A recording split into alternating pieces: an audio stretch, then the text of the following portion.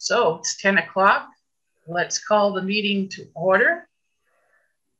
And Prudence, you have that all the board members are here and accounted for? Yep. Okay. Welcome, everybody. I hope this is one of our last ever Zoom meetings. I don't like looking at myself on this screen. But um, let's see, there are no public people. So let's go down to the minutes from the last meeting in May. Anybody have corrections, questions, changes? Sheila? Um, Marsha was um, recorded as a board member instead of a guest. Okay. That's all. Nothing That's else. all. I'll correct that. Okay. Anybody else? I have one just typo, part four, um, under B, reopening plan, the last sentence, alter is A-L-T-A-R. Minor, Got it. okay, should we accept as amended then? Yes. Unless you're saying no, we're going ahead with that. Thanks, Prudence. Sure. And we're up to Carrie Middleton. Welcome. We are looking forward to hearing your presentation on reframing aging. Thank you so much, Susan. So I can start? You can. All right, well, good morning, everybody, and thank you for being here. So as Susan mentioned, so I'm Carrie Middleton, and I work for the Boulder County Area Agency on Aging, where I do a couple different things. One is that I coordinate what's called the Respite and Companion Volunteer Program that some of you are probably aware of with your work with the Longmont Senior Center. And then I also lead reframing aging efforts. And so I'm really happy. I want to thank Michelle for inviting me to do this. And I will share my screen here in a moment. So let's all think happy technology thoughts. But our test earlier was good. So I'm sure it's all going to be fine. Um, and I'm with you, Susan. I'm, I'm ready to not see myself on a screen anymore. Can you get rid of all of us? Ah, okay. Can everybody see that? Okay. yes. So I'm actually going to begin by asking you something. And I think we're a small enough group that if you're comfortable with it, it would be great if you would just unmute yourself.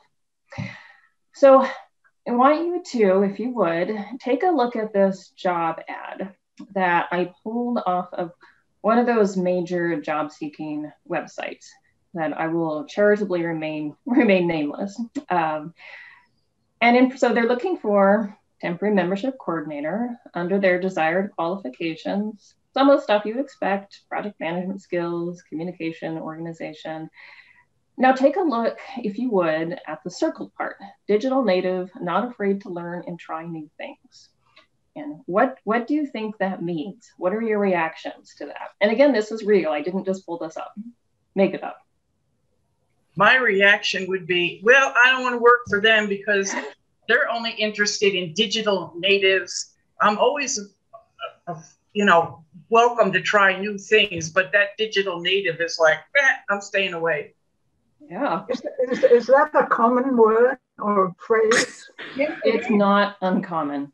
Yep. Really? Yep. So let's talk about that. What does digital native mean? They don't define it. What do we think it means? So I'll, I'll be honest, I have not a clue what a digital native is. Okay. um I I think you know this is something that even organizations I work for um, put this in.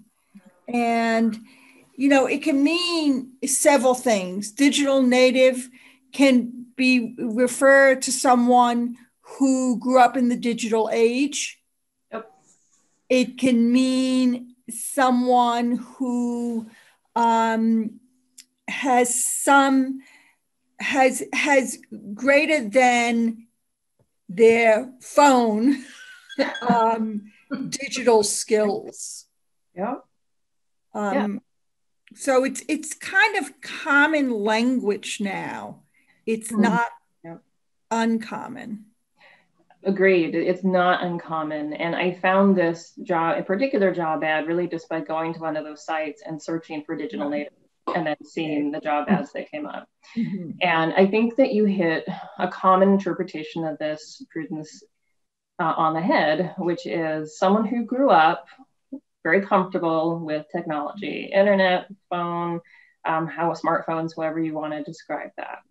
So if we take the, that, so you are native to that technology. So if we take that interpretation, then it seems like what do you think is being said here? What do they want? They want someone not who's grown up with this, i.e., they want someone who's of a certain age. and ergo, they're not necessarily interested in someone of a different age. What do you think of that? Not afraid to learn and try new things. That's okay. That's okay. Yeah. What do you think of it following the term digital native? That's a software update. You better not be pulling your hair out every time we do one. Right. No, absolutely. Go ahead, Prudence. It looks like you're going to say something. Carrie, I have a, a question. Yeah. So those of us probably um, th- those folks who are in their 50s and 60s Yeah. um, may consider themselves digital natives because mm-hmm. internet comes out really AOL I think it's like 1984 so 94 2004 you know that's 30 years ago. So you're already in your 30s Right. so I'm I'm not sure whether digital the, the term digital native then excludes folks who are in their late 70s or 80s. I think that's one interpretation of it. I would say the most common interpretation I see when we go back to native is Mhm. like when you think of a native language, you grew up speaking it. So from your childhood, you were familiar okay. with this. So we might understand this in different ways. How I think it's typically used in job contexts is to describe someone who's young enough to have grown up with a smartphone in their hand, if you will, or a tablet. Yeah. What- Go ahead. One question: What if Yeah. um, if the term said native English speaker? Would that be that would not be acceptable, would it? I Right. mean, and that's what it means. I wouldn't think so. That that takes us into other territory, but I wouldn't think Yeah. so myself. So why does you know why is why is this accepted but the other oh, Right. isn't? right. Great question. Exactly. And so I throw this out here because I think it's a, for one, it's really common and it's a really concrete example of ageism. We can understand that mm-hmm. as prejudice, discrimination, stereotyping, again, based on age. And in this workshop, we'll focus especially on those things based on older age. Of, and so in this case, we have what I would argue is um, not just that prejudice oh we don't we don't want someone who didn't grow up with this stuff. We didn't we don't want someone who's older. But to me when i read digital native comma not afraid to learn and try new things that suggests that well if you're not a digital native you must be afraid to learn and try new things. And and that in itself is another is another prejudice. And then in this kind of case in a job context those prejudices and stereotyping can extend to actual discriminations like okay we're not going to mm-hmm. interview if you know you didn't grow up with a tablet in your hand sort of thing. So again this is just one simple example but it's a really really common example of ageism. And so i've been giving these workshops in partnership with changing the narrative which is a nonprofit here in colorado that leads anti ageism efforts and reframing aging efforts. And this is really part of a long term social movement. So we don't expect things to change overnight. We don't. Um, we don't expect to see next week digital native to disappear from job ads or all age-based discrimination disappear from the workplace. But the idea is that the more people attend workshops like this, and the more people are doing something about ageism, then over time, things do change and things do get better. And so by attending these workshops, you yourselves, and especially in the work that you do with the Longmont Senior Center, I think are, are part of this movement. You're sort of, as the slide says, it's like we are the leaders that that we can we can change things. And so as I said, I'm I'm always always happy and excited when I'm I'm asked to do these kinds of workshops. So I would like to hear a little bit more from the group before we continue. And um, you can answer these questions I'm going to put on the slide silently to yourself if you want, or you can also, I didn't see a chat function in here. You can also unmute yourself if you feel like sharing. And this is a no shame poll. So the reason I ask these questions is just to get a sense of what people are thinking, things they've experienced, things they've thought about. So first question is, have you ever lied about your age? And you can think about that for a moment and you don't have to say. Well, not for 50 years. That's a long time not yes. to. Good for you. Okay. Second part, which of these have you ever said or thought? I'm having a senior moment, entitled millennial, I'm too old or too young for that, or you look good for your age. No. I, I think that I think they're all insulting. I mean, why would you for yourself say i'm having a senior moment i kind of i don't i, I never even think of that. Entitled millennial that just shows to me um, prejudice against people who are too young. Great I, point. Yeah. Yeah I, I don't like the other two either. I mean i i don't know. I wouldn't say that except yes i saw a woman who was 107 and she looked great. Uh, I'm guilty of three out of four. And no, no shame. I, I have definitely thought at least three of those.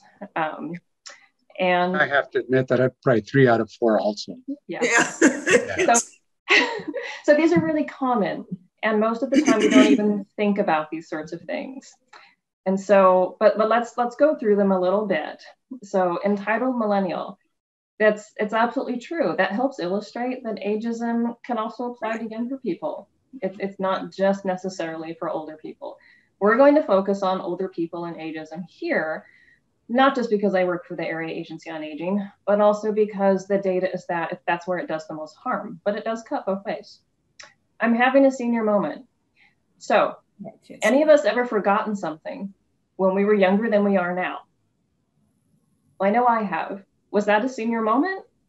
No, it had nothing to do with my age. It had to do with lots of other things, perhaps, but not my age. Same with I'm having a senior moment. That suggests, well, it's because I'm a certain age. And it's like, why is that? If you didn't think that when you were 30, why are you thinking that if you're 60? Go ahead, Prudence. Were you going to say something? I, I, I was going to say, I think that um, it, to me, when I, I hear that, especially in a, a work setting, let's say, um, I think it's it's trying to excuse something that you probably didn't need in your head to begin with. I mean, you can just let it go. I hadn't thought of it like that, but probably we use, we use language in multiple ways. That's for sure. So I, I, I need to disagree a bit. I do. Because, and maybe it's because I'm in my 70s, but um, I do have, I don't call them senior moments, but my memory in certain areas is not as acute now as it used to be. And that's just my opinion. And thanks for sharing that. And I think that the data is that we do experience some cognitive changes as we age. And some of those are positive and some of those are some of those are not so positive. Right. I think where I would quibble is attributing it only to your age, where we don't have a, you know, I'm, I'm having a millennial moment. This is what happens when I'm 25. But we definitely forget things when we're 25. Or at least I've never met anybody who hasn't. But that's a valid point. Carrie, Yes. so I I hear this I'm having a senior moment a lot from colleagues. And I struggle with how to respond um, that confronts the the ageism in that statement for me. And so I often say exactly what you just said is, or maybe you're just having a moment. but now I'm going to incorporate what Prudence just said, which is, or maybe it wasn't important for you to remember. I love that because um because sometimes you can come off I can come off as you know being a little self-righteous. So I have to think about how to respond to the that statement Yeah. actually a lot and in a way that people can hear it. So Prudence, you just gave me my response, which is yeah, you probably didn't need to know that anyways. So Exactly. I love it. it's a it's a great response and sometimes we'll talk a little bit about this further on but sometimes i also will just ask well what do you mean by that and of course or tell me more about that and sometimes if people are asked to explain or what makes it a senior moment excuse me and right there are there are more and less more or less um, righteous ways to say that. but sometimes I think just asking a question can help people think about, well, what are they saying? What, what assumptions are underlying that? Um, or you look good for your age. So underlying that seems to get that notion that, well, if you look good, that's surprising because as we get older, everything goes downhill. So underlying this again are some pretty negative assumptions and stereotypes. And we use these in particular, these, these examples, because they are super common and because we don't necessarily think of them as ageist. But if you start to little, dig a little deeper, you can see that behind them are some negative assumptions. All right, so this is, so that is the background. This is what we're going to cover today. So and apologies, my neighbor has chosen right now to mow the lawn. you can hear that. That that's that's what that is. So we're going to cover what ageism is. We've talked about that a little bit so far, and how it affects not just us as individuals, but also our communities. We're going to talk about what do we do about it? What's effective? What does the research say? How do we talk back? And becoming a change agent, that's changing the narratives um, term for how do you get involved in, in this movement? And there are lots of different things that you could do. And it's sort of a matter of what, what interests you or speaks to you. And that's sort of that choose your own adventure. There are multiple things that we could do. So these workshops usually go an hour to an hour and a half, and it really just depends on how many questions there are, how much discussion there is. And throughout, I will I will ask, you know, your feedback as well, because nobody likes to sit in front of a computer and have someone talk to them for for an hour and a half so i really appreciate all the all the lively discussion we've had so far so ageism we we use the world health organization's definition here so defined as prejudice stereotyping discrimination based on age and prejudice, we've talked about some of those things already. Stereotyping, things like, well, you must be digitally incompetent. And then we've seen discrimination. And again, a really obvious example is workplace discrimination that we will we'll talk about um, a little bit more later on. And then prejudice, so that can be as simple as, you know, I don't like old people. How many of us who work in the aging services field have heard someone say, I don't want to go there. That's where the old people are.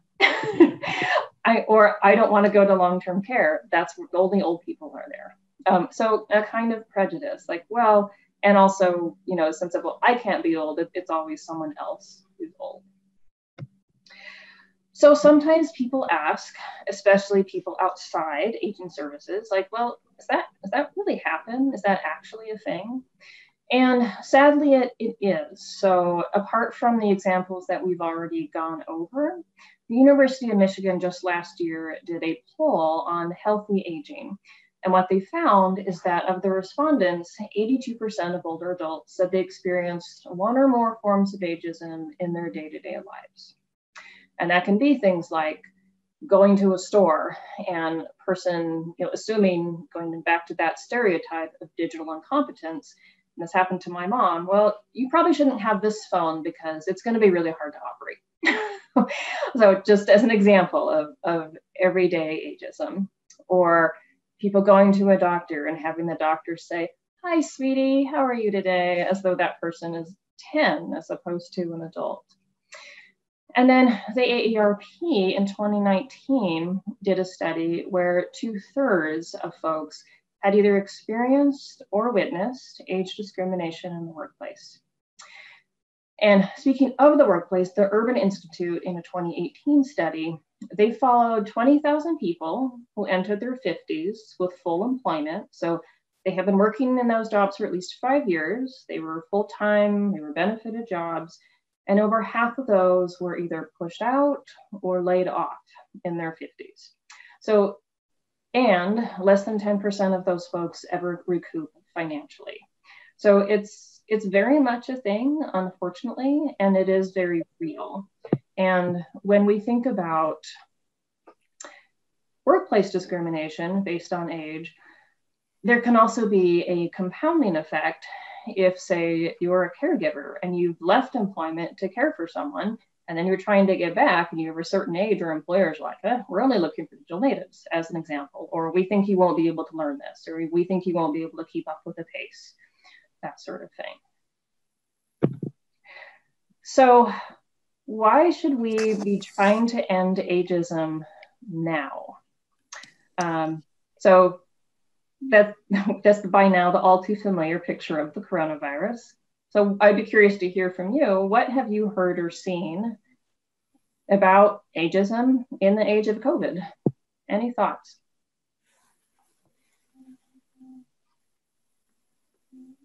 So I think the plan that COVID testing um, and COVID vaccines initially was all online. Um, and certainly not older adults are not the only ones who uh, struggle with uh, access to technology, but certainly they're a great percentage of folks. I find find uh, planners in instituting that plan probably don't understand who their who, who their neighbors, who their customers, who their clients, who who is in this world, and I find that ageist in the sense of the lack of awareness, the lack of understanding.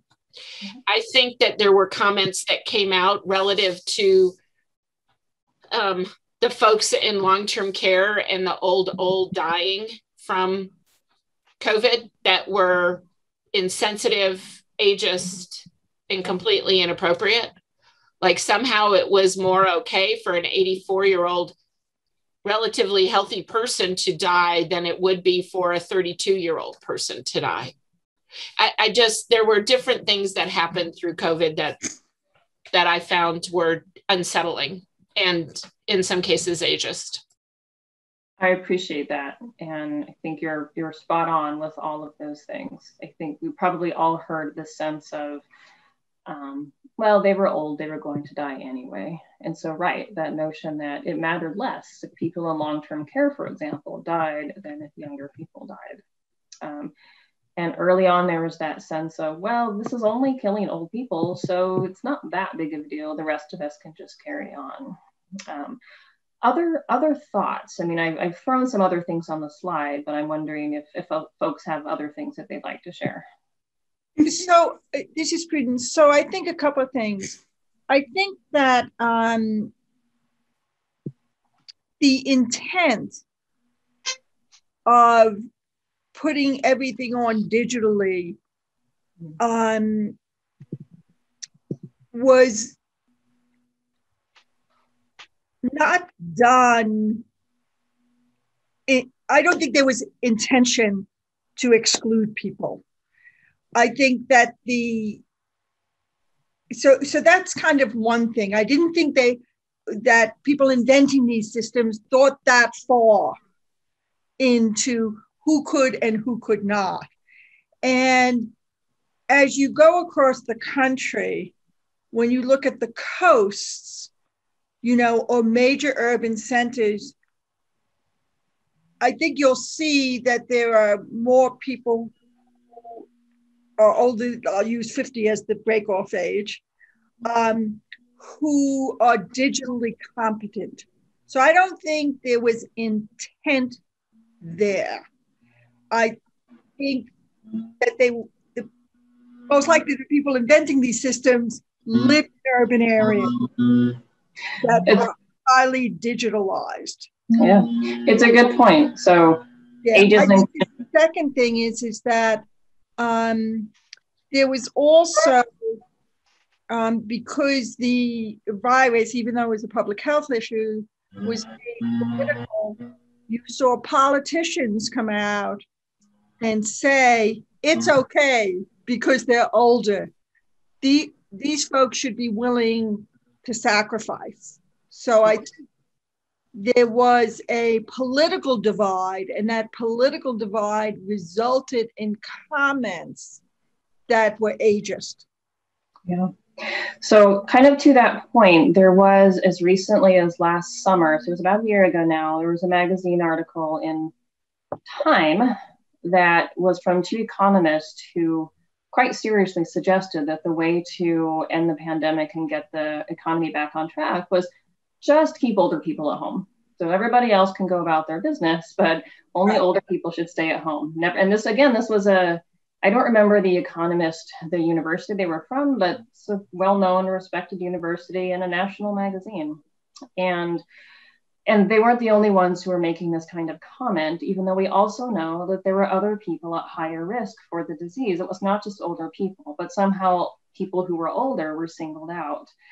There was an also, I think it was last summer, it might have been as, as late as last fall. There was also an article in Denver Post that talked about how PPE was not prioritized for long term care, even though long term care settings were experiencing some of the highest mortality rates. And the federal government was sending PPE that in some cases was inferior, inferior or not even usable. So, just as another example of ageism at work in the pandemic. Here in Colorado, as you're probably aware, there were also triage standards, critical care standards that were developed um, that moved older people to the back of the line for care, such as ventilators. And one thing that I would say here is that we also know that the pandemic disproportionately affected people of color. So we can see how marginalizations can compound upon each other. So imagine someone, because of social context, who's a person of color, more, more higher exposure to COVID, gets COVID, if they also happen to be an older adult, then if there was a triage situation, they're going to be marginalized further by moving back to the line. So these things, they're not separate. They, they compound each other, unfortunately. So the pandemic, I think, really has, I don't know that it's created ageism, but it is very much exposed that this is a real thing. People say all will say all kinds of things like calling the virus a grandma killer or a boomer remover. Those sorts those sorts of things were said too. And like I said, mainstream publications saying like, well, let's just keep older people at home. the rest of us can go about our lives. So it, it's it's pretty real. It also affects us both affects us personally. Um, so we've already talked about financial security and as that relates to workplace age discrimination. And I mentioned that study where only 10% of less than 10% of those folks recouped financially when they were pushed out as older adults. And of course, if you lose your job, then in this country, then potentially you're losing your health insurance as well. There's also a study by the Yale School of Public Health that shows that ageism negatively affects our health both our physical and mental health and negatively affects our memories even. So there was an interesting study that suggested that people who have more positive beliefs um, about aging and getting older were almost 50% less likely to get dementia, even if they had a genetic marker for it. So, again, this is measurable. And people who think more positively about aging literally live about seven and a half years longer than people who don't. So again, this is what the research says, and this is it's measurable. Um, it also affects our whole communities. So one of the things I'm going to talk about a little later on is communications recommendations by an organization called the Frameworks Institute, which is based, which is a DC-based think tank that looks at how do we communicate effectively about social issues. And one of the things that they found in their research is that ageism in our society erodes support for policies that are age friendly. So, for policies that might support caregivers, for example. And even though our demographics are changing, as you're probably aware, less than 2% of private philanthropic funding goes to fund programs that serve older adults. The Yale School of Public Health also did a study that calculated that ageism in healthcare contexts cost us as a country annually $63 billion. And I would emphasize that this calculation was attributed to ageism, so not underlying conditions, but directly to ageism. And here again is a place where I would emphasize that people can be marginalized in multiple ways. So some of you are probably aware there was a news story, gosh, six, seven, eight months ago, about a Black physician who complained about racism in her treatment who had COVID. She later died of COVID, and she was mm-hmm. also an older adult. So we know that the research is that ageism is very much alive in healthcare. So then you have a person in a healthcare context who can be experiencing racism as well as ageism. And then the AARP calculated that in a recent study that workplace age discrimination costs the economy $850 billion annually in terms of lost productivity. So again, it's measurable, it's it's real. Unfortunately, a lot of the data is, is pretty negative that it's there and, and what it does to us. But as I mentioned, the converse of that is when we think more positively about older adults and about our own aging process, we benefit. We live seven and a half times, seven and a half years longer. Our health is better. We're less likely to have dementia. But it can be hard in our society to have those more positive beliefs because, in ways that we've talked about, we're surrounded by all of these messaging that to get to age is bad and the older adults are somehow less than. So I'm not going to read all the examples on the slide. And one or two we've already talked about. But one that I, I do like to pick on is that phrase, she's young at heart, um, or he's young at heart. And what that seems to mean is well, what we seem to mean by that is a person is vibrant and energetic and enthusiastic. The implication being that, well, old people don't have those things. So you're young, you're young at heart if you have those things. So it's one of those many instances in which our language masks some underlying really negative assumptions about getting older and older adults that we don't necessarily even recognize because they're just so around us.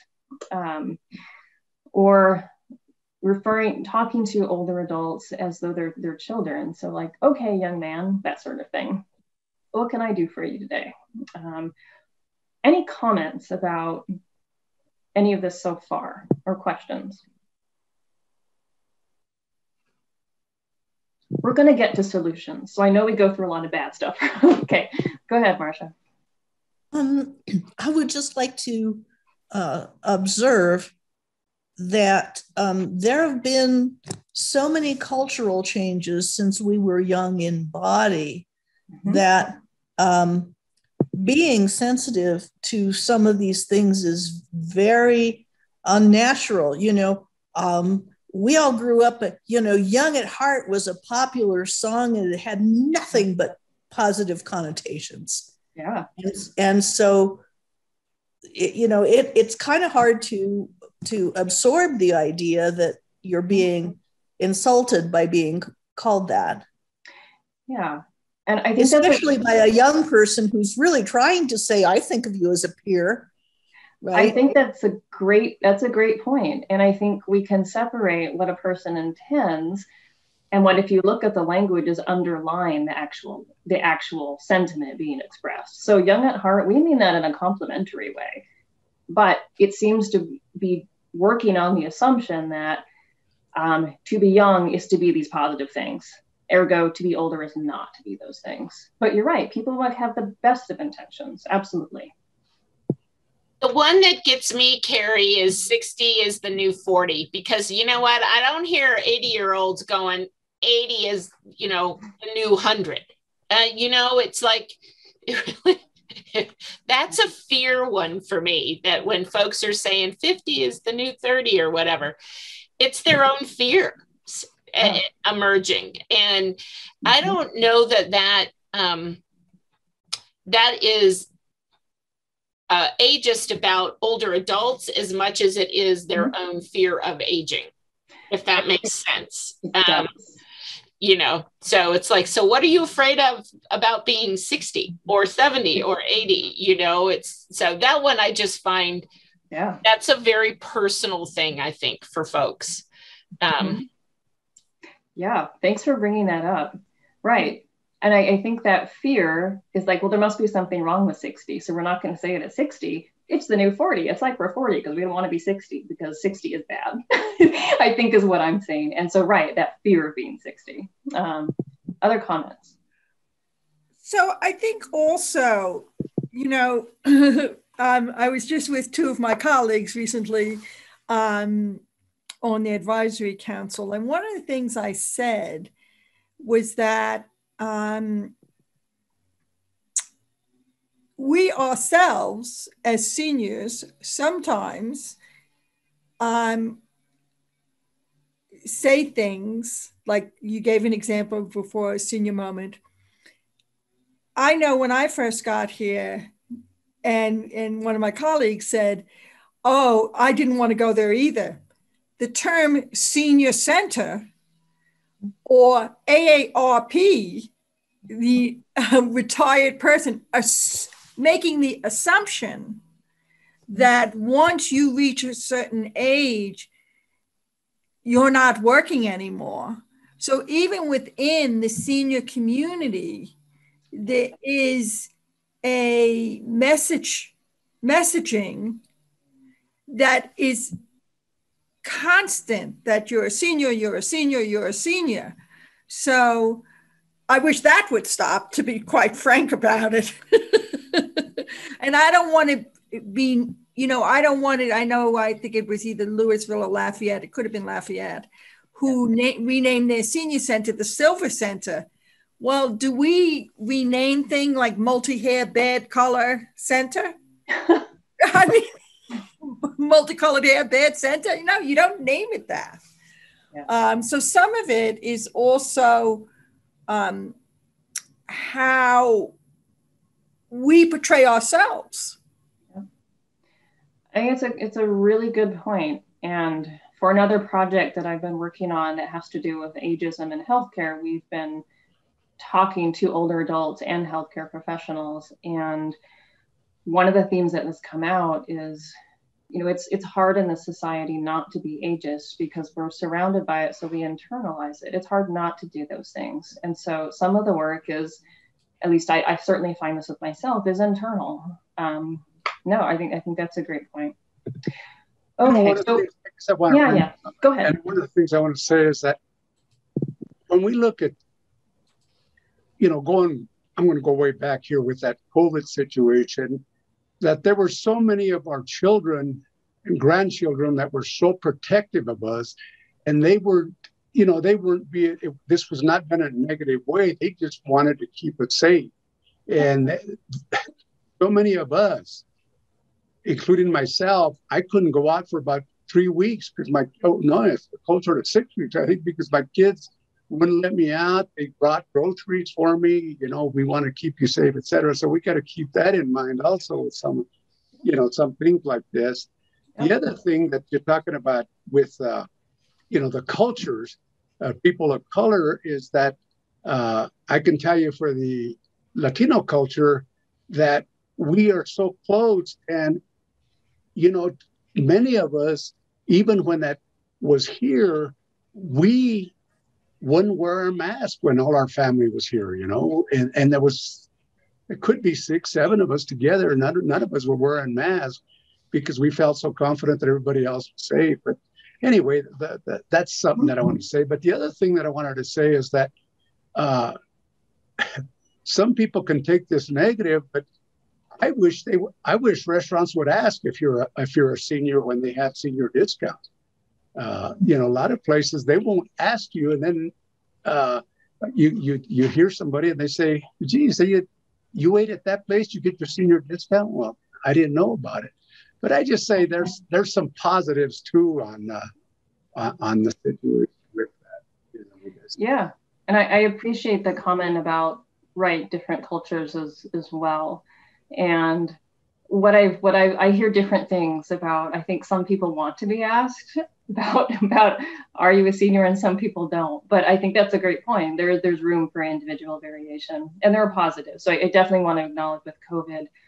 I think a lot of what was coming out, not all of it, I'm going to be honest, did have good intentions. And I think it raises that question, not to take us down a rabbit hole of that balance between respecting people's autonomy as adults who can make their own decisions and trying to keep people safe. So it's so that there's that I think tension that we saw throughout, especially in long-term care contexts. So just in the interest of time, I'm going to move us on a little bit. So if you're surrounded by all of these these anti-older anti-aging, anti-age messages, why is that?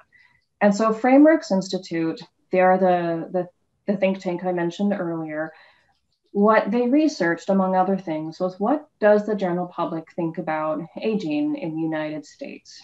And and then also, how do we communicate effectively, given what the general public thinks about aging? So, what's on the slide now are those themes that frameworks pulled out from what people think. So, a couple things about them. These are patterns of thinking throughout the United States it's not to say that everybody thinks the same way, but it is to say that these patterns are largely often unquestioned assumptions that we all have access to, even if we ourselves might not actually think that. And so for me, learning about these themes, like, oh, yeah, that sounds really familiar to me, even though as someone who works in this field, they're not necessarily things that I believe but they are patterns that the general public believes, broadly speaking. So, one of those themes is there's a sense of ideal aging versus um, what in the public's mind is actual aging.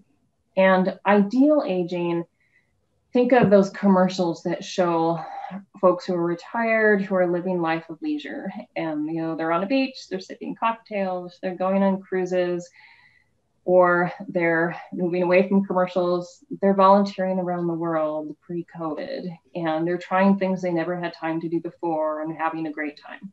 So that's the ideal. But in the public mind, what actually happens when we age is decline and dependency and loss. Things just go downhill and we get we lose our independence. There's also in the general public's mind a very strong us versus them. So we saw this come out during the pandemic a lot that, you know, we have to protect those people, um, those older adults. So we have to sacrifice to make people safe. So there's also, we see that us versus them in some of the comments that people have made about, well, I don't want to go there. That's where old people go because, you know, old is always someone else. It's, it's never us. There's also in the public mind a sense of individualism, meaning that if you're struggling with things as you age, for example, with transportation or nutrition or social isolation, that in the public's mind is not because of context, but it's because of choices that individuals made. So if you can't afford rent in Boulder County or mortgage in Boulder County or property taxes, well, you should have saved more, or you need to move somewhere else if you can't afford this. If you're struggling with nutrition, well, we need to educate you more and you need to make better choices as opposed to thinking about things like access to food and is there nutritious food that's available, that's nearby, that people can get to? And instead of thinking about things like about social isolation, like, well, you know, are things accessible in terms of transportation resources or walkability? Instead, people think in terms of you need to get out there um, and make friends and that sort of thing. So, not context, but individualism. And then in the public mind, another pattern is a sense of nostalgia and threat of modernity. And by this is meant there's this idea that in the good old days, you know, people didn't have these struggles. You know, Social Security was solvent, people had pensions, families cared for each other. And that's just not the case in the modern world. But the problem with that thinking, of course, as we all know, one, that's oversimplified about those good old days. And two, those good old days were not actually good for everybody, as we know really very well. When the public thinks about solutions that folks might have if they're struggling with things as older adults, as you would expect, they're thinking in terms of individual solutions, like, you know, we need to make sure people have more education and tell people more about resources and how to save money and this sort of thing. And then finally, sometimes when the public thinks about solutions, they're not thinking about solutions except to say that, well, there isn't a solution. So there's that sense of fatalism, that sense that, well, in the modern world, Social Security is doomed. There's nothing we can do about it in the modern world, families move, they don't stay together, and, and there's nothing we can do to help people age well. So, this is what the general public thinks. Again, these are patterns of thinking that largely function as assumptions that people don't even necessarily know that they have. And again, it's not to say everybody thinks these things, but we all have access to these things. I know, again, learning about this, like, oh, all this seems really familiar to me even though I don't necessarily buy into these things um, as someone who works in this field. So I would like to hear from you. Um, we might just pick one of these just because in the interest of time. But when you think about those patterns of thinking, let's go with that second statement. And what patterns of thinking do you think are reflected in, in, the, in this message? So the message is, and this is paraphrased from a website. So again, not something I made up. This is about Colorado state budget. Our state budget pays for services that define our quality of life. But due to our aging population, the fiscal conflict threatens that quality.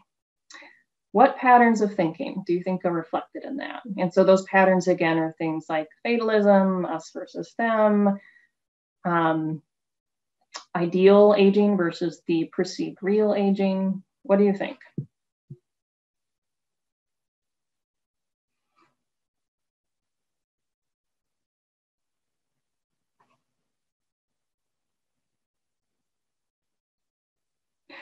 For me, when I read that last sentence, due to our aging population, a fiscal conflict threatens that quality.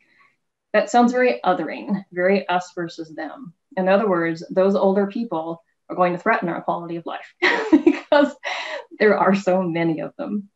There's also a sense of fatalism. So, not in solutions, but boy, this is awful. Population's aging. What are we going to do about it? All these old people, our quality of life is going to suffer.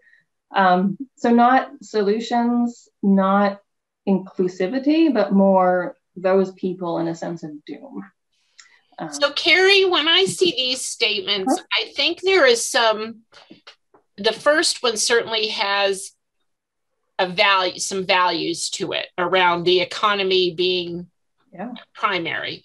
The second one just feels like they were trying to yeah. shortcut a reality.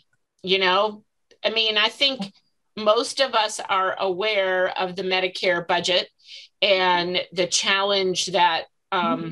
care and and the cost of care embedded in that is so mm-hmm. much that to try and make a one sentence or two sentences to describe that yeah is really just not not fair I mean, you know what I mean? There's just yeah. so much complexity in that one. Um, that uh, that's an, that's unfortunate. I don't know what the context was for that, but um, they've missed some key uh, uh points and opportunities. Yep. So great, great points. And I think one thing that I want to piggyback on there is a lot of the messaging, excuse me, that we're going to see, excuse me, about older adults and aging, I think, as someone said earlier, might come from the very best of places with the very best of intentions. That said, it still might be reflecting negative assumptions that in the end are going to be unhelpful. So that first one, targeted lockdowns for the elderly could help our economy, allow others to resume more normal life and protect the most vulnerable. So again, this is paraphrased from an actual something uh, to fit it onto the slide. And clearly it seems like the intent here was, hey, we need to keep people safe. We also need to make sure that our economy can do as well as it can under the circumstances. And we want people to live a more normal life. But when you look at these things, some of the things that jump out at me now that based on my re- my working with changing the narrative and understanding of the frameworks recommendations is it's very othering so again let's just lock down the elderly everyone else can go on and live a more normal life as opposed to a sense of we're all in this together how can we figure out something that that helps everybody that helps keep people safe that does something for the economy and then when I see the sentence, protect that clause, protect the most vulnerable, in the context here, the most vulnerable is clearly older people. And to me, there's a couple things wrong with that. One is that it sort of suggests that older adults are this monolithic, same group that are all uniformly vulnerable, which, you know, is, is that is that necessarily true? The other is that even though being older in age was a higher risk factor and is for COVID, we also know there are a lot of other risk factors for COVID, um, such as being overweight or being diabetic or being immunocompromised. And we don't see those groups singled out. Instead, what we single out is reinforcing that notion that to be older is to be frail, is to be vulnerable, is to be dependent. And it's not to say that things don't change as we get older, but it is to say that's a stereotype. Okay, go ahead, Janine. You have your hand up. I do because, and I just need to say this I really disagree with you, especially about especially about the COVID, uh, because older adults were at greater risk. That wasn't because they were older adults and they were being yeah. you know, singled out. It was because it was a reality and that they did need to have more consideration. And that, you know, my family was extremely protective of me, like mm-hmm. you are. And I didn't see that as them thinking I was old.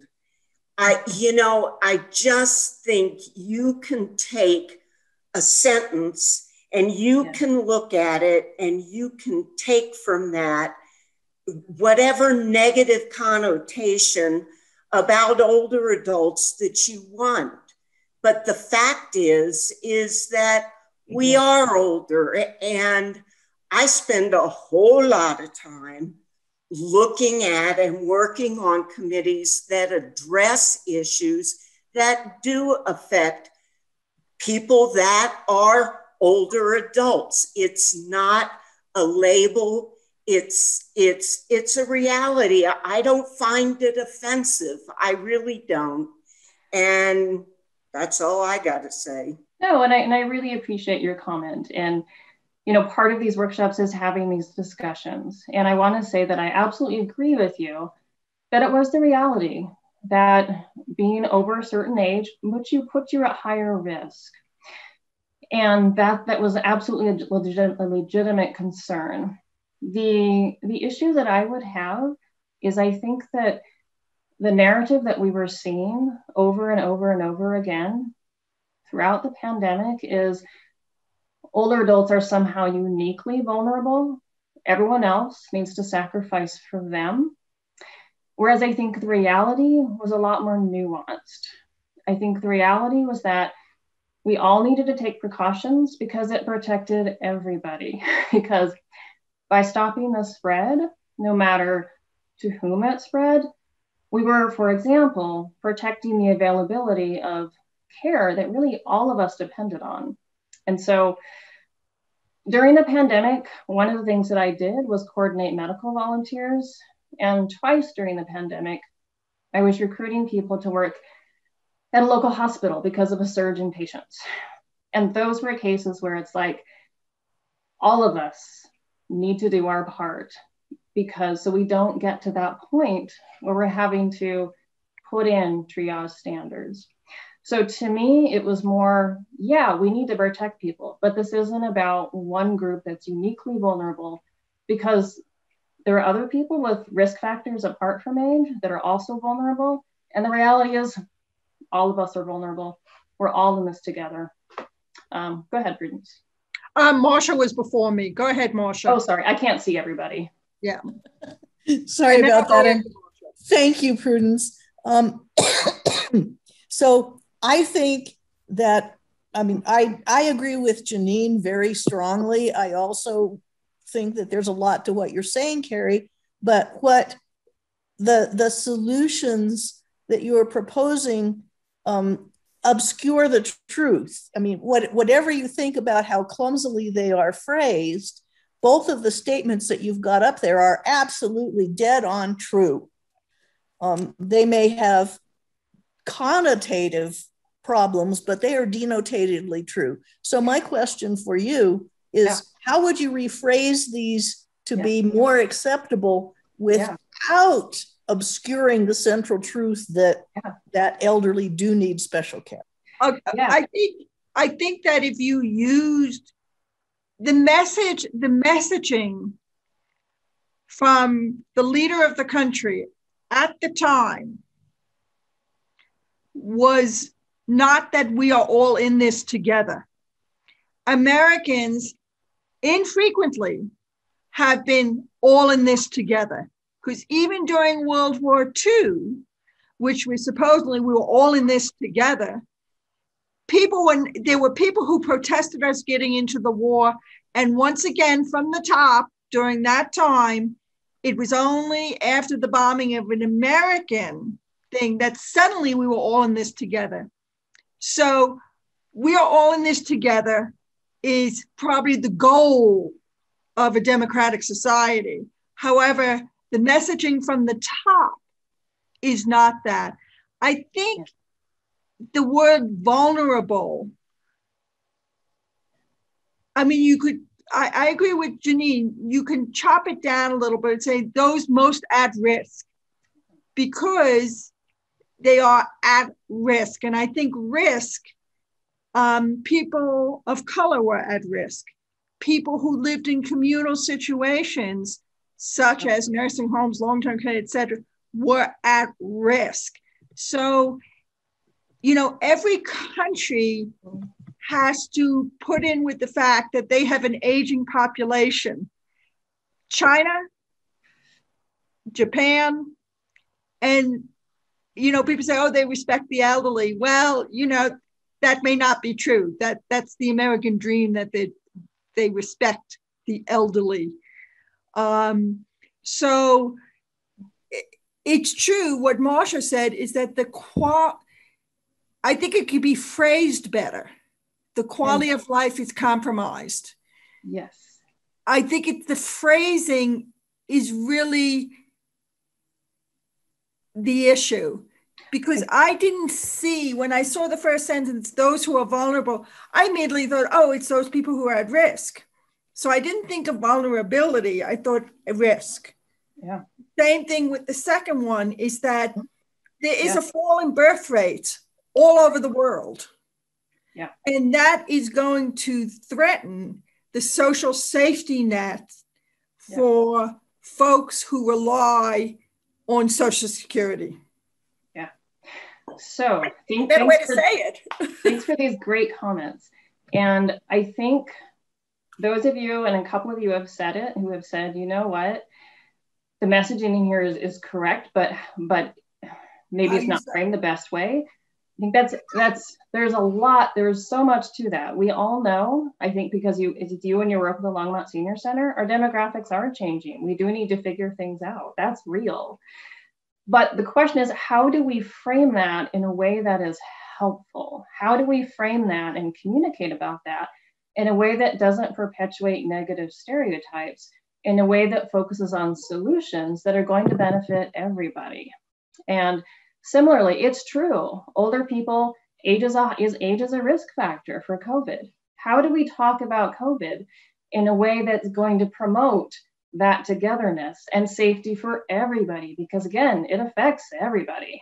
So this isn't necessarily about this is because this slide is not about um, necessarily facts. This slide is about what's effective communication about some of these realities. So that's really the takeaway here. And I have another training, another workshop that Change the Narrative does that goes into those communication strategies in a lot more detail than we're going to go now. But we are going to hit on some of those solutions because Frameworks Institute, they not just looked at what are these patterns of thinking, they also looked at, given these patterns of thinking, how do we communicate in a way that's effective? And by effective, I mean measurably promote, measurably decrease us versus them thinking, measurably decrease implicit bias. Um, and that's really what, what reframing aging is about. So we are going to get, so just in the interest of time, I'm going to move us forward. And we are going to touch on some of those things. That said, there's another workshop that's going to go into those in more detail. And afterwards, I can share that information with Michelle if you're interested ever in attending one of those and, and going a little deeper into the recommendations. Okay, great discussion. Thank you so much um, for everyone who's brought up questions or concerns. That's why we have these workshops so we can talk about it. Okay, so we've talked, I think, a lot about how these patterns have played out in the pandemic. So changing demographics. Another reason to fight ageism, remember, we went over research that showed that it harms us individually, it harms our communities. Another reason to end ageism is because it's going to benefit all of us. Again, there is that sense of we are all in this together. So the graphic on the left is from the US Census Bureau, and it's showing the population from 1960 broken out by age to the projected population in 2060, broken out by age and by gender. And I don't think it's going to be surprise to this group that we're changing from that pyramid to the column. We're getting older. Here in Boulder County, and here I have to refer to my notes because I'm never sure I'm going to get the numbers right. Between 2020 and 2050, Boulder County's population is projected to increase 33%. In that same time period, the population of people 60 plus is projected to increase 58%. And in that same time period, the population in the county of folks who are 80 plus is projected to increase 244%. We're, we're getting we're getting older um, across across the country, and, and I think as Prudence mentioned, I think across the world, in many in many parts of the world anyway. And so when we're fighting ageism now, we're doing it for everybody. It's not just folks who might be 60 plus now, but this is the trend. We're all, we're all aging. Um, okay, so solutions. What do we do? So we talked a little bit about how do we re- how do we frame things? If some of that framing we looked at was not effective, what is? How do we do it? Well, so we'll talk a little bit about that strategy. We'll talk about intergenerational connections, implicit bias, and go through some of those frameworks institute recommendations on changing language. Um, so how do we frame things? Okay, so this is a big one. One of the big ideas behind Frameworks and Institute recommendations was talking about older adults as resources. So this is just an example, um, using our ingenuity to reimagine how we can use the talents of older adults to help us address the pandemic. What I would emphasize here is that this is not spin. So It's a fact that being a, a greater age is a risk factor for COVID. It's also a fact that older adults are resources that help our communities in all kinds of ways, and that's been true in the pandemic. So, as I mentioned, um, I've been working with medical volunteers during COVID. And I can tell you that a lot of our older, a lot of our volunteers who came out to do things like volunteer at the hospital during surge scenarios that I mentioned, to give vaccines at our clinics, to help at testing sites, to help at the COVID Recovery Center, which is a place for people who are unsheltered to quarantine. A lot of those people were older adults. So this is this is also reality. This isn't the reality that we see necessarily in the media, but, but this is the reality that we are in. Um, here's another example, and this has to do with a Denver councilwoman who happened to be older, who, because of all of her experience and connections early in the pandemic, she was able to create the Colorado Sewing Coalition, which not only helped create masks to help save people's lives or make them safer, but it also gave jobs to people who are who had lost work during the pandemic. So again, we're talking about older adults as resources. That's the big idea here. Um, and as I said, it's not spin, it's just real. These are actual examples. We want to tell stories about aging that are more nuanced and more accurate than the stories that we so often hear in the media that really do focus on decline and dependency. Another really effective way of addressing ageism is intergenerational, positive intergenerational connections. So, one of the programs that Changing the Narrative has is called On the Same Page. And it's what it sounds like. It brings people from different generations together to have a conversation. So, again, Changing the Narrative is based in Colorado, but they had a toolkit online for participants so people could just run with it. So they have people participating around the world and over 600 uh, people doing this. And they're also doing this now. So I think, again, they have a toolkit available on their website. And again, after the training, I can share with Michelle various resources, but it's something that you can do now. And the research is that those intergenerational connections, again, one of the most effective ways to reduce ageism. I think the research that I saw was specifically about reducing ageism with respect to older adults, but I would also guess that it also reduces ageism towards younger people too, because of that contact. Okay. Um, Another solution is addressing implicit bias. So, bias that we don't even necessarily know that we have. So, we've talked already about all of these phrasing and imagery and stories that we hear that really do seem to have in, an anti age bias and how we can internalize that again without necessarily even knowing that we're doing it. So what frameworks found, and probably a lot of you are already aware of some of these implicit bias tests, is if you are aware of implicit bias, you're less likely to act on it, to be swayed by it. So Harvard has on their website various implicit bias tests that you can take to see how biased are you or not about different groups. And one of them is based on age. And so that's another way that people can do themselves something to address ageism. So we've already talked about the work might come from ourselves and have we internalized ageism? How ageist are we? One thing that we can do is start by examining our own beliefs, our own, our own thoughts, and with the help of one of the implicit bias tests. And I think they ask you to register, but they're free and they don't take very long. All right, so Frameworks Institute as I mentioned, has given a number of recommendations.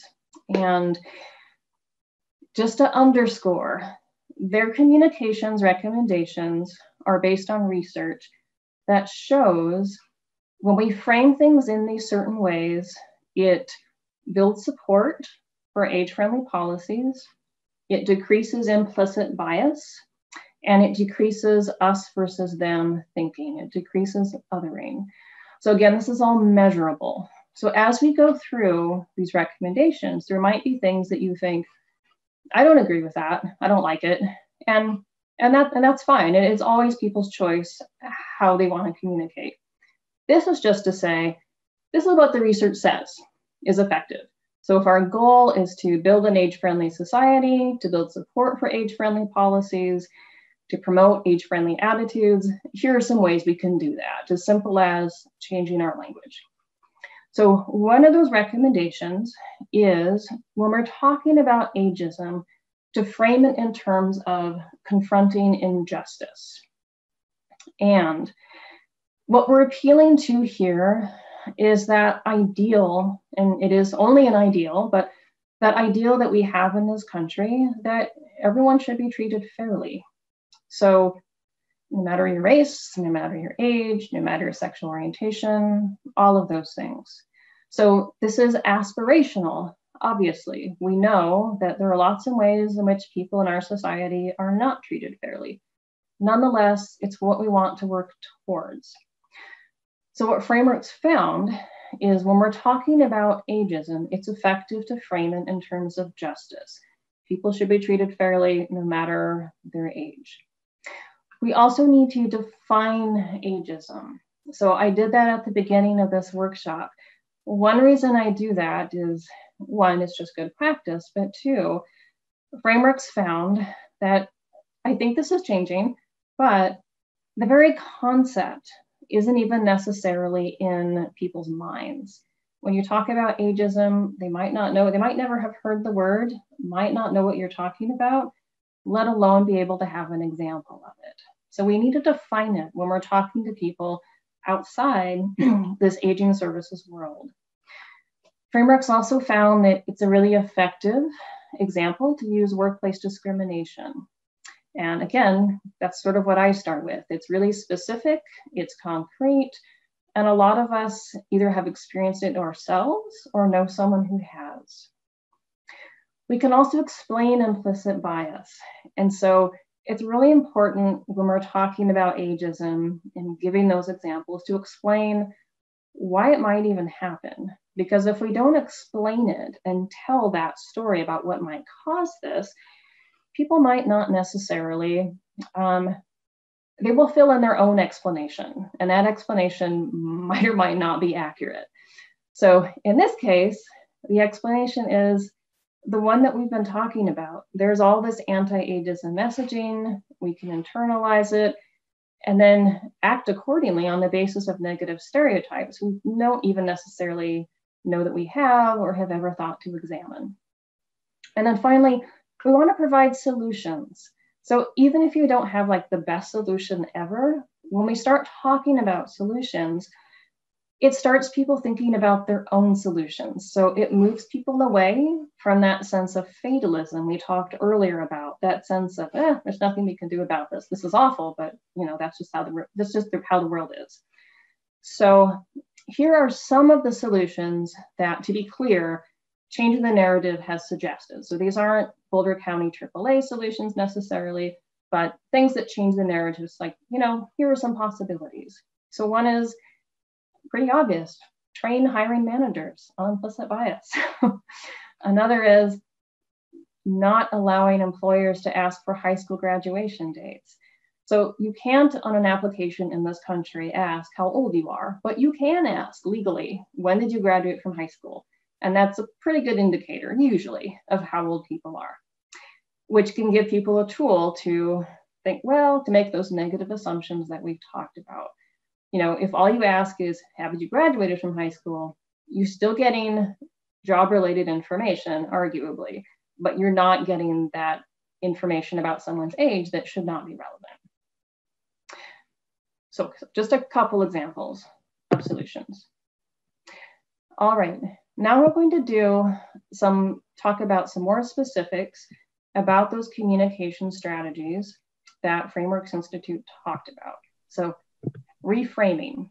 So again, here's the swamp. I will share this presentation with Michelle afterwards. I know there's a lot of information on this graphic. And by say, when I say the swamp, that's Frameworks Institute's term for what the public thinks about aging. So it's not a political commentary. It's just meant to say, hey, here are these patterns of thinking, and it's complicated. Just like a swamp is like an ecosystem that's complicated, so is how we think about aging in older adults is complicated. So the reason that this is important is because when we talk about aging and older adults, what we're saying is being filtered through these patterns. And what that means is whether or not we intend it, what we say can go terribly awry because we're accidentally activating negative assumptions. So I think we've talked about the COVID example. We talked about changing demographics example. Here's another one. Um, and then we'll start to move into some specific recommendations. Early in the pandemic, I went to my optometrist and as we were chatting, she wanted to know, so what do you do? And I talked about the Respite and Companion Volunteer Program, which pairs volunteers to connect socially with older adults who might be lonely or experiencing isolation. So I told her about this program. And what she said to me was, a very nice person, was, Oh, those poor people, they must be so scared. And what I intended to talk about was there's this great program. The pandemic is hard on everybody a lot of us are feeling a degree of isolation. Here's this program that lets people connect and help ease that sense of isolation and loneliness. That's what I intended for her to, to understand. What she understood instead was all older adults are really lonely and isolated, and they're not leaving their homes, and they're really frightened. And that's not to say that there were not people who, for really excellent reasons, were not leaving their homes, and we were all scared. But in her mind, it was only about older adults who were experiencing that isolation, that fear, that loss. And so that was an example where what I said accidentally activated these negative assumptions about older adults being uniquely vulnerable and dependent when that's not what I intended. So it becomes really important when we're talking about aging in older adults to use language that's not going to activate those assumptions, but instead frame things more positively. So the question was, well, about those changing demographics, it's true in the sense that things are changing and we need to change with them because policies are based on that pyramid instead of that column of demographics. So what Framework's recommending is framing those changing demographics in terms of we're living longer, healthier lives. The reason those demographics are changing is because we are living longer and healthier lives. And that's a good thing. And so then we need to figure out creative solutions to ensure that we can all thrive as we age. So, yes, we can absolutely talk about changing demographics. And yes, we can absolutely talk about we need to do something about this because we're not prepared as a community or as a society. But how do we frame that effectively? And this is what Frameworks has found as effective. So we want to avoid talking about the changing demographics in terms of disasters, because what that does is it makes people think, ah, that fatalism thing, there's nothing we can do. This is awful, but here we are. But instead, we want people to start thinking about solutions. And again, emphasize that this helps everybody, which it does. This isn't about an us versus them. This is about helping everybody. So one of those recommendations, as you would expect, is to use those inclusive terms um, as we all age. So yes, you can talk about similarly COVID and higher risk factors, including age, including diabetes, including weight, including being immunocompromised. But we can do that in a way that emphasizes how what we do affects everybody else, that when we're all working together, it protects everybody, um, including protects everybody, as I said, in a way that helps make sure that there are still enough healthcare resources to care for everybody for a disease that has killed people of all ages. So, yeah, we can talk about those things, but are there better and worse ways to talk about things? And then finally, uh, we don't necessarily want to frame aging in terms of a struggle, um, battling aging, fighting aging. So if you think about that, have you ever battled something that was positive? Like, I'm going to battle this best day that I've ever had? Probably not. So if you're fighting something, it's probably because it's a bad thing. Whereas if we frame aging as just another normal process of human development, which it is, that's a lot more positive. And again, I would argue also more accurate. And it goes back to talking about framing older adults as resources, where we continue to learn. We still have community connections. Um, and it's not to say that things like social isolation doesn't occur or that there aren't struggles, but it is just another process of human development. And we do still continue to, to matter, and we still continue to be connected to communities.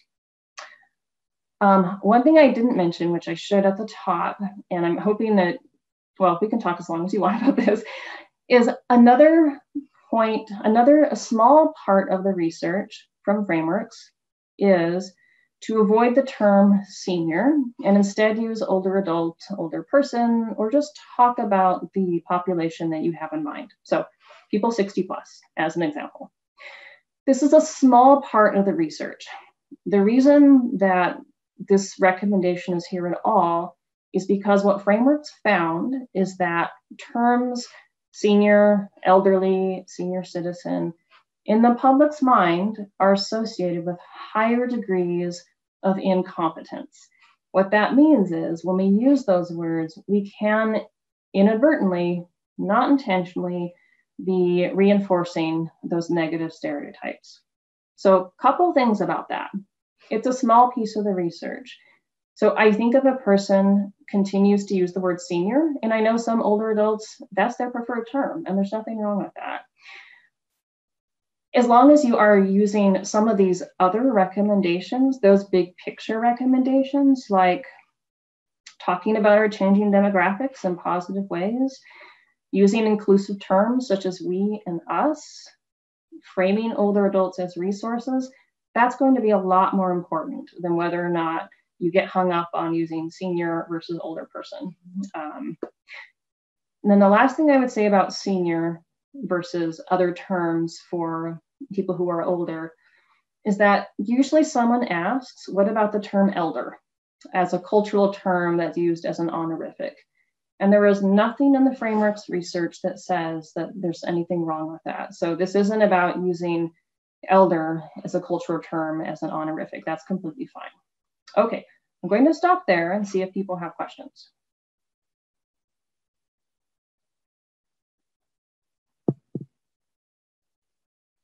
people usually have questions at this point, and you've been an awesomely engaged group. so I'm going to pause a little longer.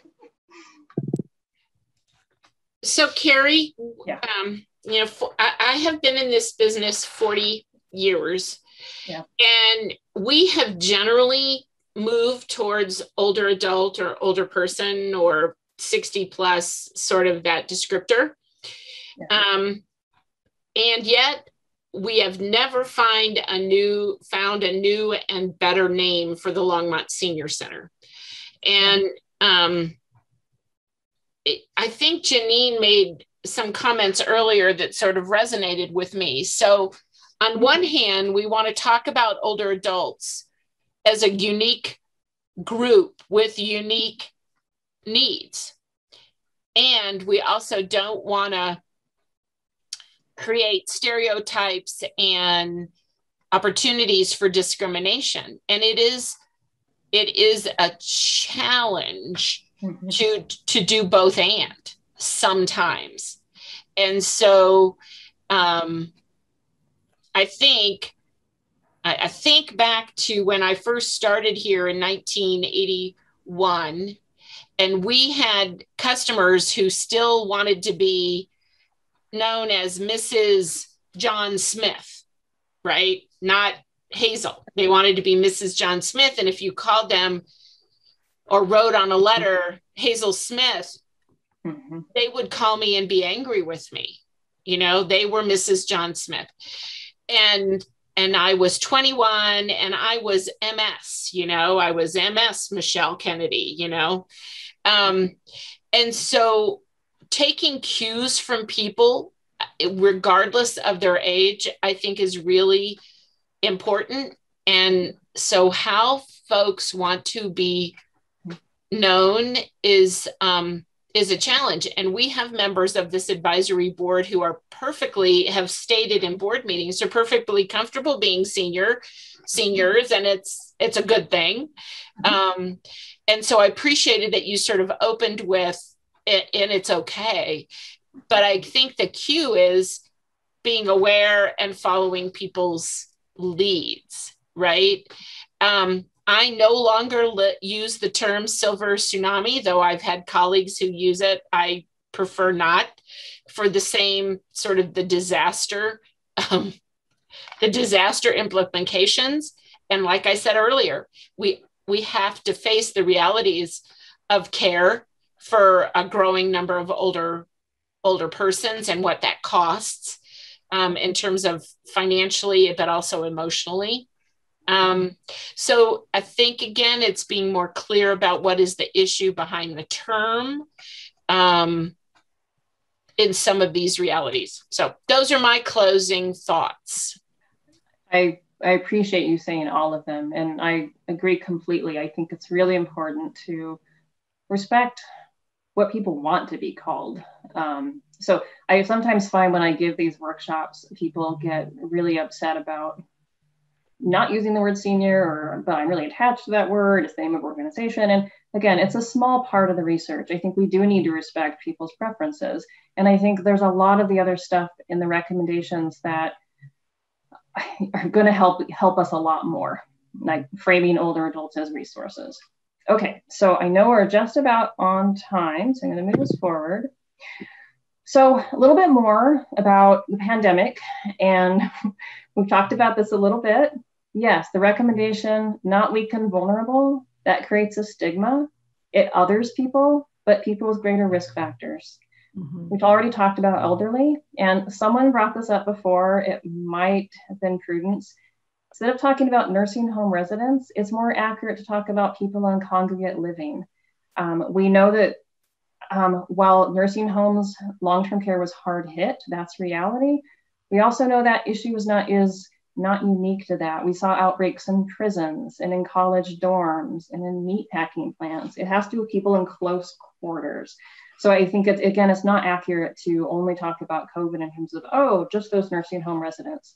Um, people in close quarters for long periods of time. Okay, couple examples of how to respond when people are saying ageist things. Um, as I mentioned earlier, one of my favorites is, well, what do you mean by that? And to me, that just opens up a conversation. It's not accusing, it's just tell me more about that, and then we can have a conversation. Um, some other things are like if people are calling you honey or sweetie, or you prefer not to be called a senior, just saying what you do prefer to be called, including if you prefer to be called a senior. Um, and then if people aren't giving full explanations, I mean, asking for the explanation.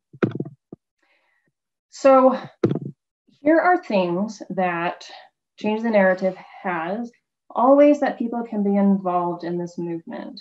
And again, I will share the PowerPoint and a couple other resources with Michelle um, to share with everybody if that sounds good. But as I said, I know we're at time, so I'm just going to stop there and see if there are any any last questions or comments. And the question that I would have for you the comment I have for you is thanks for being here. Thanks for having that conversation, including the people who are like, I don't agree with that.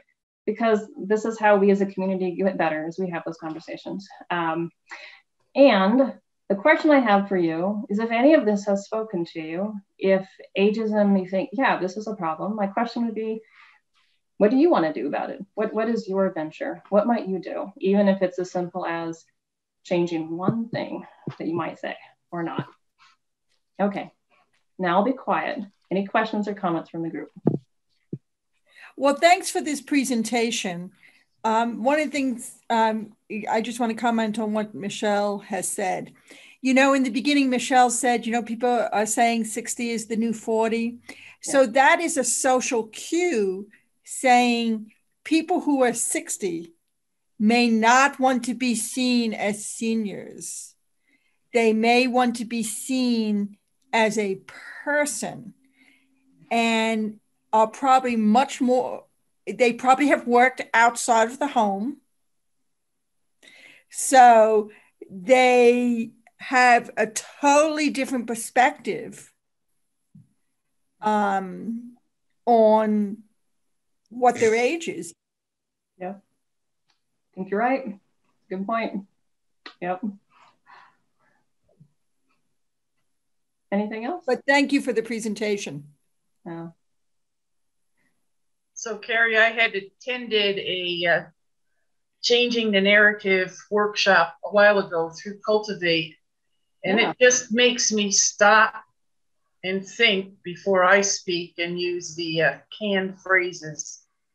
Yeah, I appreciate that. And again, it's kind of a no shame rule with rule with with all of this. I mean, I'm continuing to, you know, I've given probably a dozen of these workshops and I continue to learn and deepen my understanding. And I think it's just going to be lifelong, like with really all kinds of deepening our understandings about equity and getting better. Right. I agree.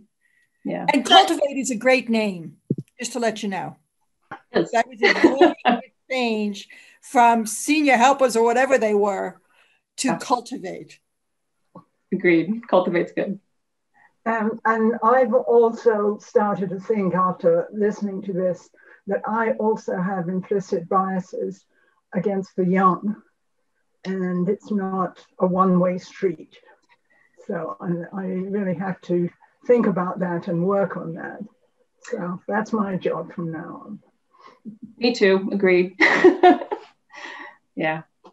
You know, I think um, the complexity of aging really is what I'm going to try to kind of wrap my head around a little bit more. I mean, I've often said aging is at least five generations of people with all of the generational and social and other elements of diversity within that, not to mention all the other kinds. So I think really starting to to think about it in its complexity is something I'm going to sort of play in my own brain. Yeah. I love that, Michelle. I think complexity is a good word. And I also loved a comment earlier that people just wanting to be seen as people. And I think that's really what probably all of us want is not to be put into a box, but to be treated as a person. Yeah. All right. Well, thank you so much again for your time. And I really appreciate the discussion as well. So yeah, thank you, Carrie. All right. Thanks, Thanks so all. much, Carrie. Take care. You too. Have a great rest of your we'll day. We'll be talking. Okay. Sounds great. Bye. I will need to. Okay. Robin do her magic, right? Good job, Robin. So, July meeting, can we, will we meet in July? Because we haven't in the past. And will we be in person? Otherwise, you might not have anybody showing up. so, what what was the um, Pat? Did, did the Senior Advisory Council not meet in July and August? Usually conflicted with the July 4th holiday. This year, it's not as big a conflict because the holiday will be Monday, uh, the 5th, and the board meeting is the 7th. You're, you're wide open to do whatever you prefer. Ooh, I vote for in person. Anybody else for in person? Whoa, looks kind of unanimous to me. So we'll have a room to meet in? Yay!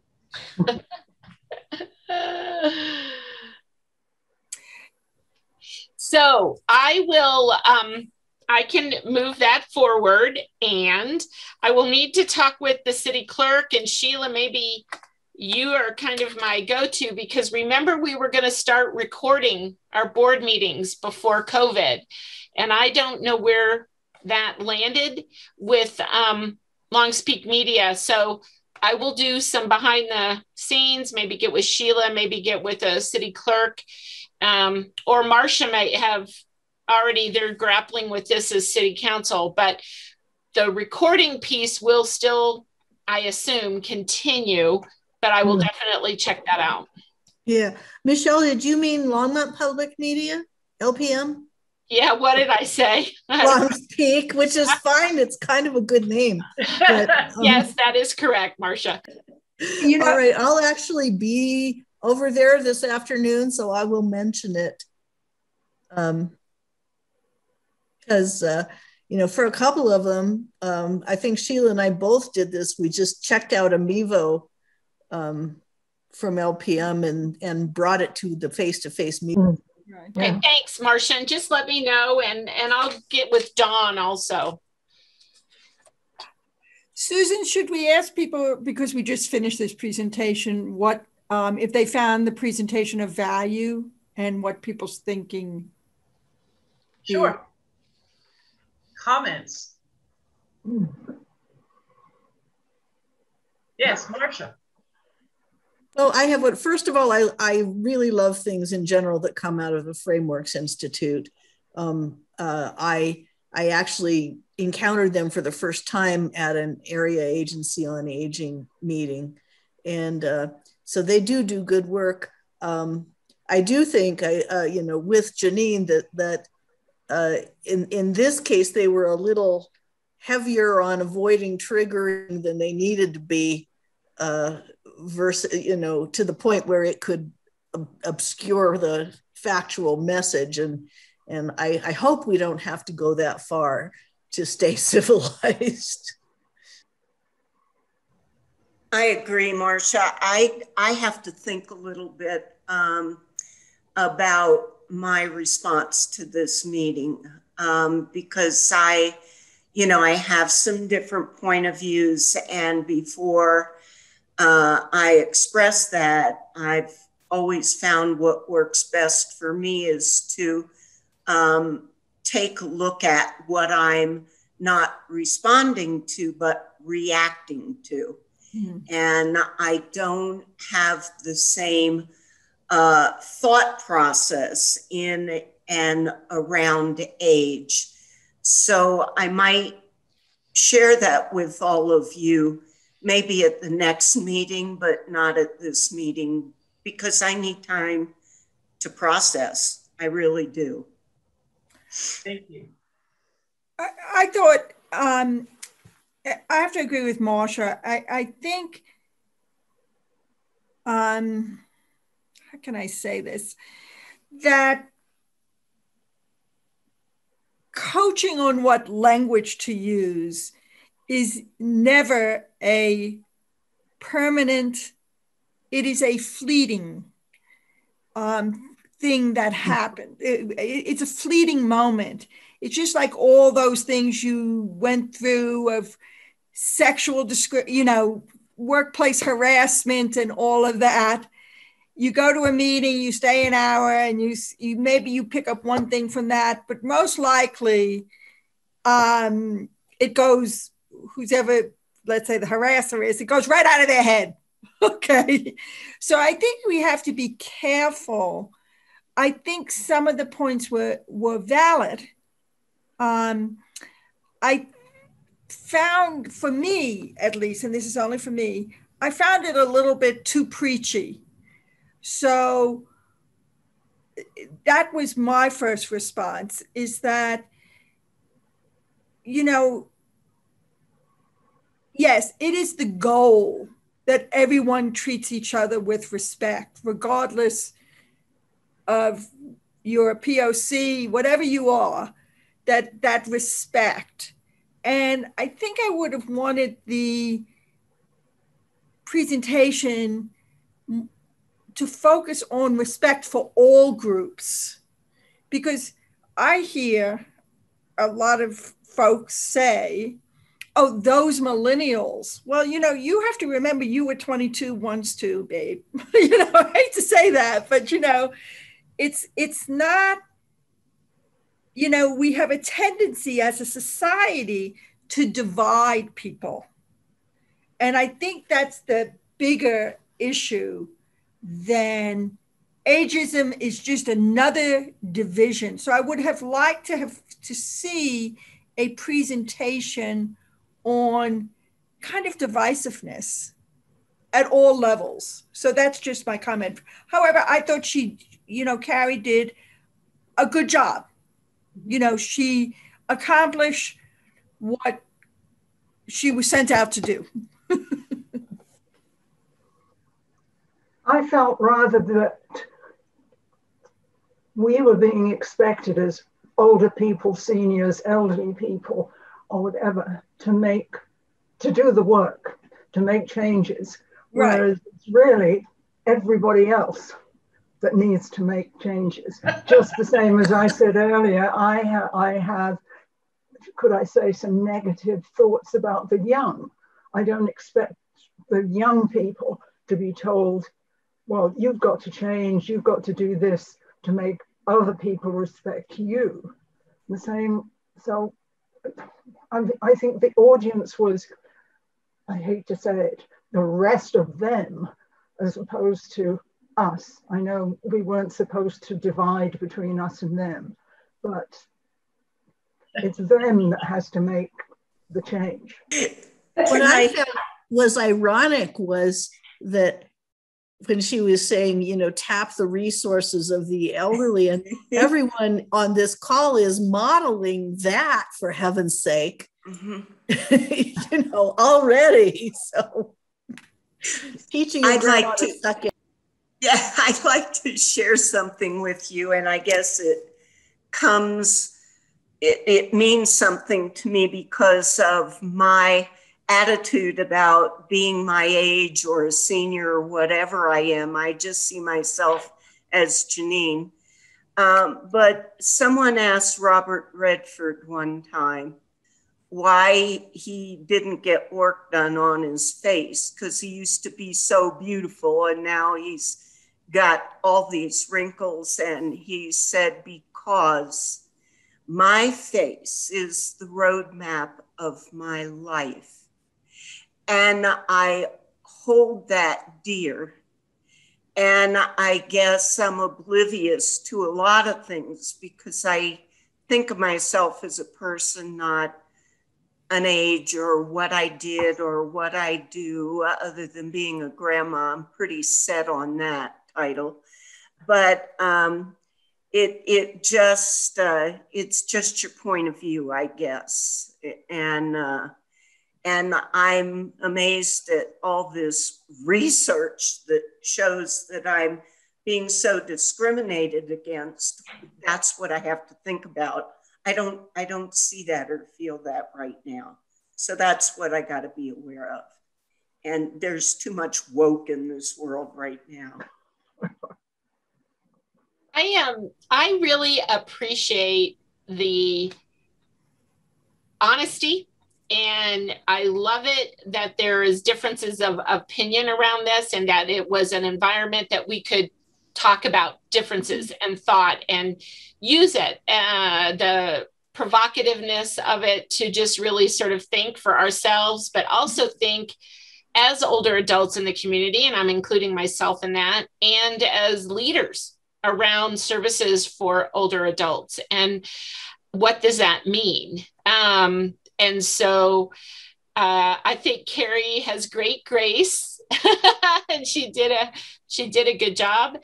And um, I just hope that we keep thinking about this um, and what that means. And when language or behavior or choice or strategic planning does not serve people, um, and and and does not work with people. That for me is like where is that barrier? Where is that um i want to make sure we're not putting barriers up for people or discouragement. So i appreciate prudence you know you you comments about that word senior and when is that a barrier? Oh yeah. Um, you know so i think it just it's provocative and i I'm one of those folks who loved philosophy classes, especially the ones that I didn't know what I was getting into because of the conversation and the learning. And so um, this was kind of that for me,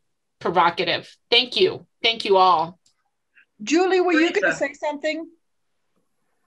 Well, I, um, so I think, it, you know, the, for me personally, there's a lot to think about, right?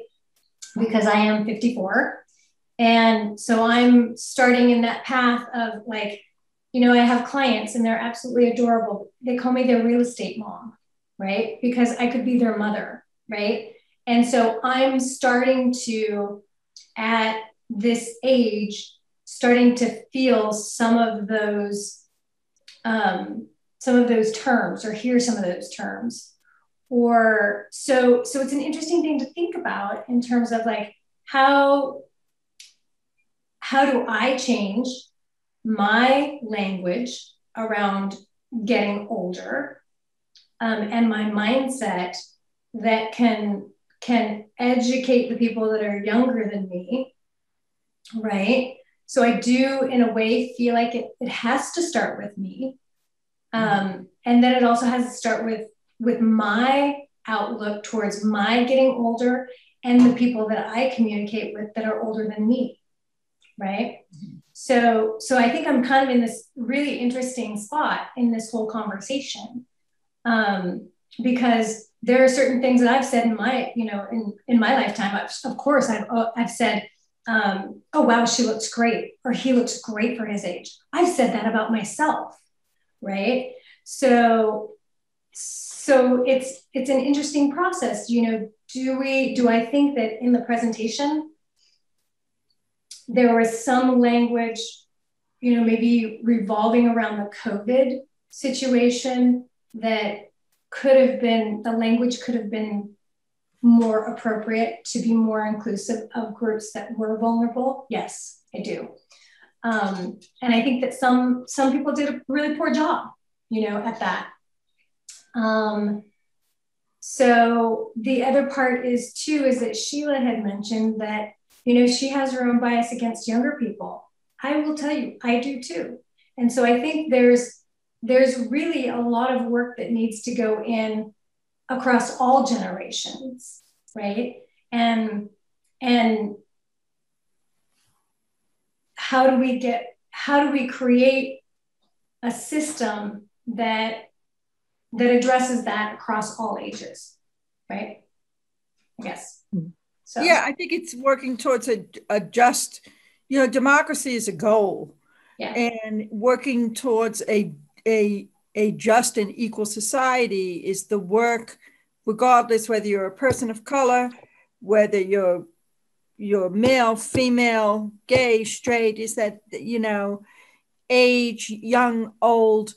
It's to treat people respectfully and there's sometimes when people say things, I was just on a call a couple of weeks ago at work, and it it was with the CEO and a couple other people. And one of the things, one of the directors said, Well, I don't see color.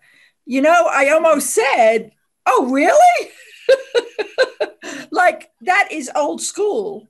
I mean, it, it, I couldn't believe it. It's like, hmm, that's an odd thing to say. Um, you know so acknowledging and respecting people is i think the the key regardless of age or anything else yeah Teresa, you had a comment Agree. Well, I was just going to say, um, I thought it was a great presentation. I'm glad I tuned in, although I w- I'm working in the background, so I've had some distractions. Um, but it is an eye opener, and mm-hmm. I am involved with people on multiple levels um, as an aging professional, I go on tours, extended travel tours with people. And uh, I think reading the room is a really important thing. I will visit with somebody and they I'll say, Hey, how are you doing? And they're like, Hey, I'm upright and I'm above ground. I'm really happy. And you know, it hits me hard. It's like, oh, okay, well, good. I'm glad you're glad you're here. and I wish you had a little better outlook, you know, but I can't correct everybody. So Right. I think it's really smart. Let's meet them where they are. And if I can throw out a couple of morsels every now and then to um, help reframe things, I try to do that. But I don't feel like I can fall on my sword every time I hear something somebody says because I'm really active in pickleball. And it's a it's a competitive sport.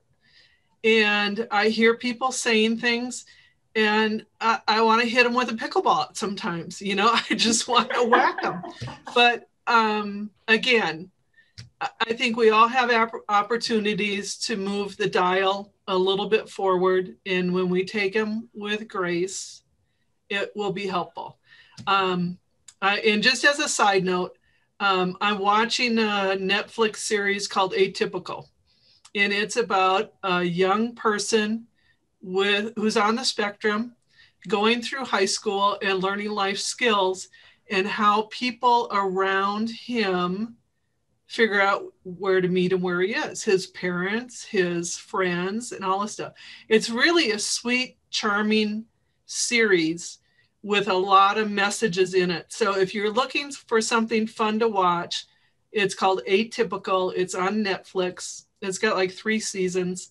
Um, and you could equate what this guy is going through with ageism in that um, there's a lot of people around us that have a lot of different viewpoints and how do you walk through this world recognizing people where they are and helping move the dial forward without becoming the red flag where you walk in the room and everybody groans because you are now present and they know what you're going to say. So um, that was a great presentation. I missed some of it. I'm going to go back and watch it and I appreciate all of you for participating and being on a board where we can make a difference in the community in a lot of different ways. Yeah. Marcia? Thanks. I just want to put in a plug for the Harvard implicit bias exercises because um, let's just say they're a better use of your time than, than doing the crossword puzzle because they really um, you know you don't you don't want to take them as holy writ or anything but they really open your eyes about your own reactions and and i tend to take a couple of them repeat a couple of them every six months or so just to see how i'm doing Yeah, a good suggestion. So I did, you know, um, Prudence mentioned the naming of the senior center. And I thought maybe it would be nice to have it be called the Thrive Community. Right. Right. Or, or something. Cultivate was a great name. Yeah. I mean, It that had to be name. one of the best ways. What to- was the name? I didn't hear what Julie said. I'm sorry. Oh, I said Thrive Community. Hmm. You know, Road Scholar, the tour company, used to be called Elder Hostel. And then Yeah. they found out that people from 50 and above did not want to be called elder. And they changed it to Road, R O A D, Scholar. So it balanced being on the road and having wisdom or being a scholar. Um, so it, it, it's it's interesting. I, I would never have gone on a trip if it was called Elder Hostel. I, I'll be honest. I would have been like, "Are you kidding?"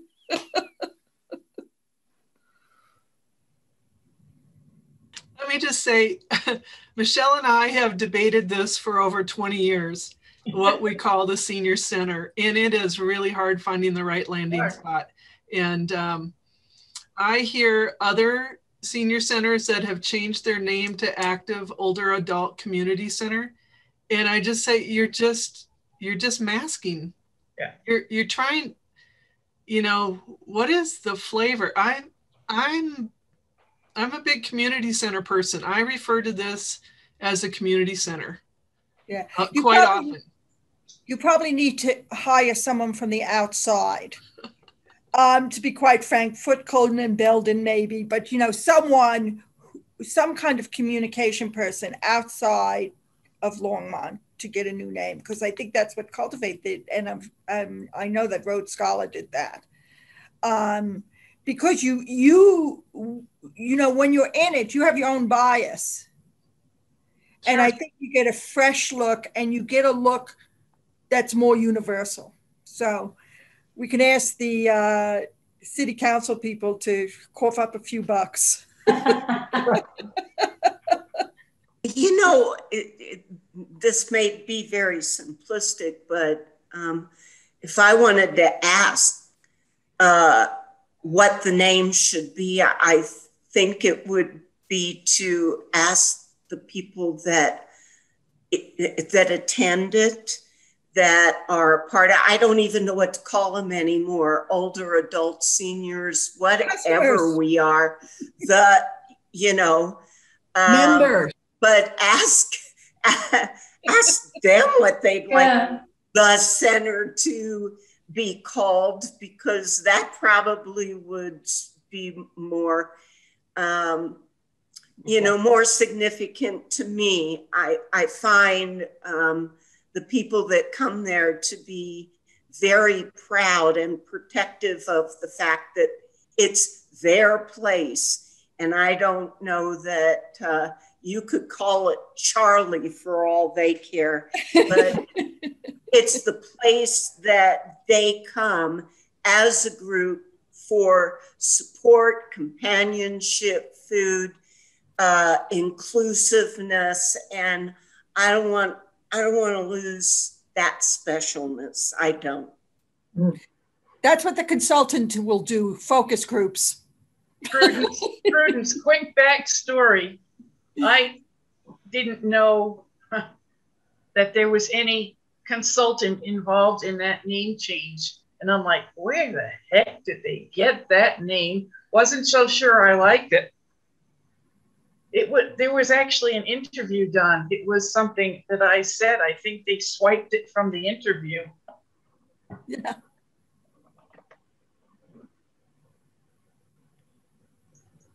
So michelle i have a question for you.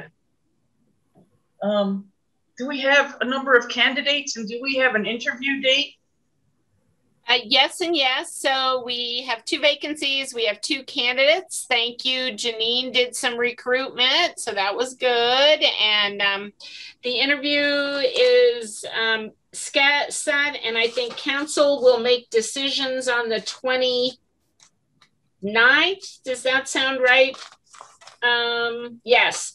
Council yeah. scheduled to make decisions and appointments on the council meeting on the 29th. So by July uh, meeting, we should have two new board members.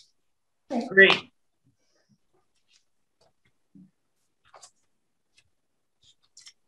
Any other things you want to share with us? In, including another man. So talk Ooh. about the first lady. Art might be thrilled about that. Um, so I um, just a, one quickie before we close. Uh, I think I told you all, Larry Holtgrew has resigned. His last day in the office is Friday, June 11th. The position is posted to fill. It closes on Friday, June 25th. Um, if there is a board member who is interested in being a part of that hiring interview team, uh, Larry's position is recreation coordinator. He works uh, directly for the recreation supervisor, Megan.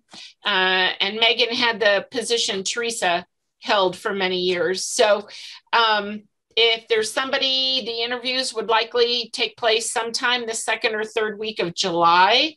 Um, if anyone's interested in being a part of that, um, please let me know um, either now or email me, Susan, you'd like to, okay.